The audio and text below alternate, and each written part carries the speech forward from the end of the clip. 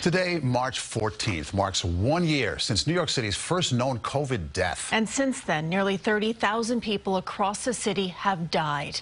From Brooklyn to Manhattan, remembrance events honored all of those lives.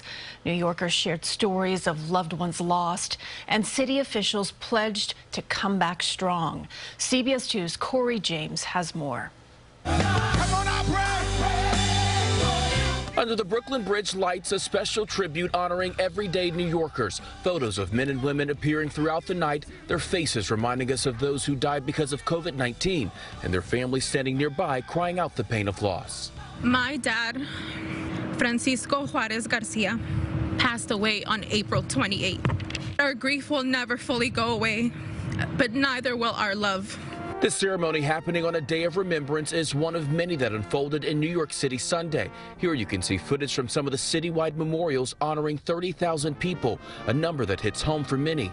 I've lost, I stopped counting at 13. Two of those people were Mark Espinoza's loved ones. His father, Thelmo Espinoza, passed away the day before his 68th birthday, and his grandmother, Ada Guzman, died at 95 years old. Both took their last breaths just days apart. It's been tough all around. At Brooklyn Borough Hall, Espinoza stood in between two art installations, one with the names of those who were killed by the deadly virus, the other highlighting the names of people born during a time of uncertainty.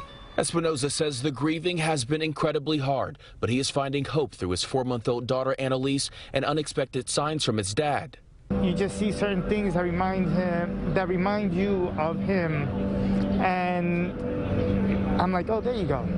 And while the faces of hundreds of New Yorkers were up on the Brooklyn Bridge for about two hours this evening, people walking nearby or driving, some of them stopped just to watch and see the significance of this historical day. In Dumbo, Brooklyn, Cory James, CBS 2 News.